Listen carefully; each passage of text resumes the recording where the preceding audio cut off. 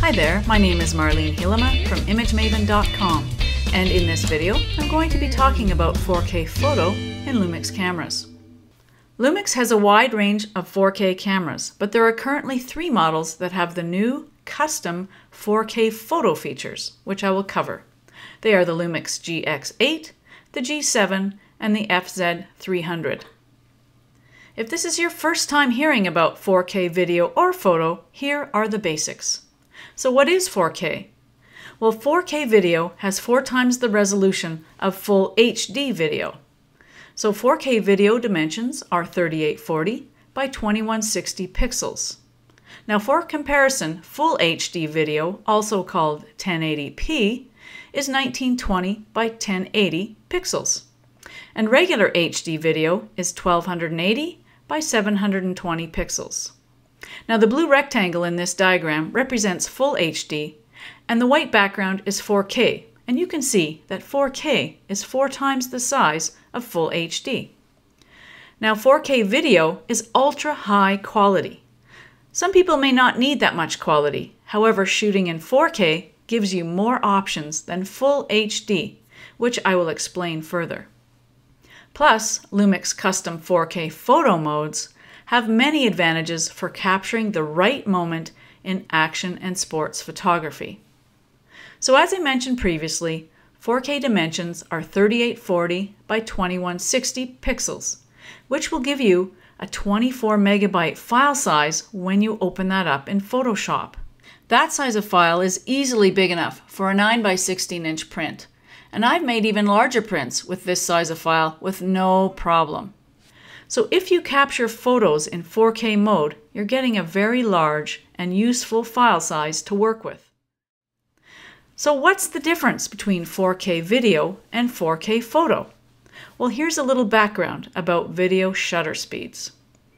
If you shoot conventional video, it's recommended that you shoot at a shutter speed of 1 50th, 1 60th, 1 100th, or 1 125th of a second.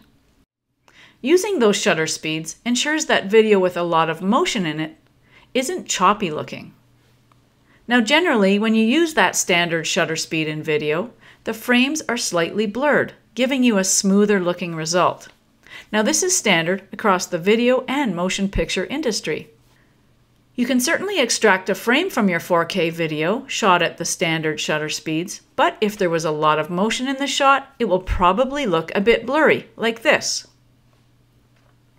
Now in 4K photo mode, the camera captures 30 frames per second at any f-stop and shutter speed that you set up.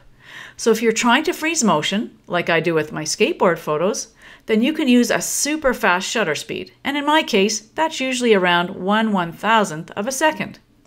And that's where 4K photo is most useful. Capturing 30 frames per second in 4K is much faster than the burst modes of many cameras. In the Lumix GX8, the high-speed burst mode is 8 frames a second. Here are some other advantages of shooting in 4K photo mode. If you're a beginner shooting fast action subjects and you haven't quite mastered the art of the decisive moment, or in the case of sports, you're not sure what moment the athletes think is best, then 4K is a great way to start.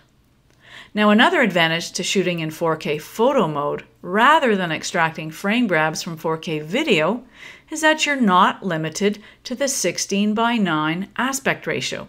You can choose any of the presets in the Lumix cameras, such as 4 to 3, 3 to 2, 16 by 9, and 1 to 1.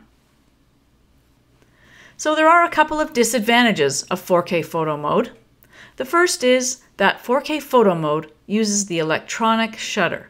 So when a moving subject is recorded with the electronic shutter, the subject may appear distorted in the picture. Now, in some cases, most cases, that won't be a problem, but it's something to watch out for. In 4K photo mode, there's a slight time lag between shots as all those photos need to be dumped into your memory card.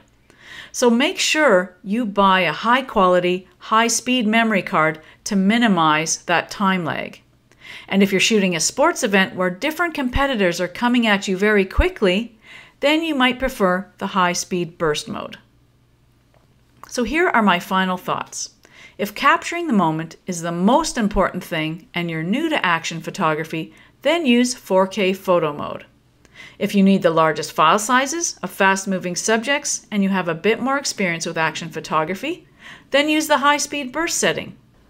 I like to use both modes. I like to use the 4K photo mode when I'm photographing something I'm not familiar with and I'm not sure where or when that peak action is going to take place. And I like the high speed burst mode when I'm used to my subject and it's predictable. I hope you enjoyed this lesson on 4K photo. If you'd like to learn more about photographers using Lumix cameras, check out lumixstories.ca. Thanks for watching. It's Marlene Hielema from ImageMaven.com.